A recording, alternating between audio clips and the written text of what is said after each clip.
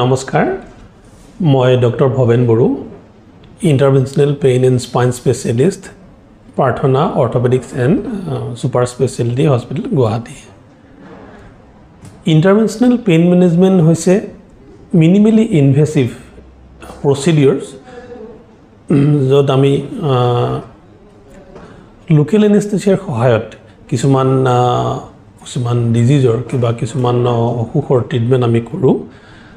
যেনে chronic spinal pain joint pain cancer pain আৰু neuralgia এইবিলাকৰ আমি চিকিৎসা কৰোঁ। এতিয়া কথা হ'ল কি ক্ৰনিক পেইননো কি?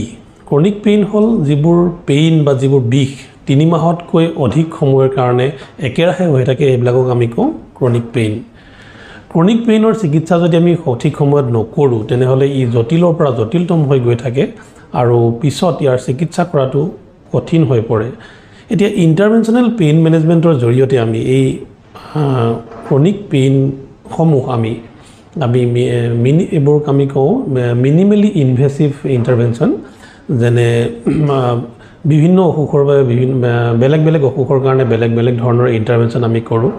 আঁঠুৰ কাৰণে বেলেগ বাহুৰ বিষৰ কাৰণে বেলেগ ৰাজহাড় বা ক্ৰনিক স্পাইনেল পেইনৰ কাৰণে বেলেগ। তো সকলো ৰোগৰ বাবে বিভিন্ন ধৰণৰ বেলেগ বেলেগ ধৰণৰ আমাৰ আধুনিক চিকিৎসা আধুনিক চিকিৎসা আমি কৰোঁ।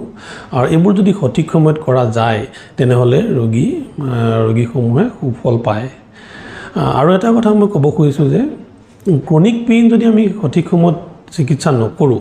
তেনেহ'লে ই মই অলৰেডি কৈছোঁৱেই যে ই জটিলৰ পৰা জটিলতম হৈ গৈ থাকে। আমি এইটোক এম্প্লিফিকেশ্যন অফ পেইন বুলি কওঁ।